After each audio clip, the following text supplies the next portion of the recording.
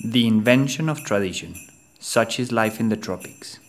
La invención de la tradición, así es la vida en el trópico. La exposición se compone de seis nuevos proyectos que en esencia son una serie de observaciones culturales desarrolladas a partir de las experiencias recientes de vivir en Londres y viajar a través de Europa.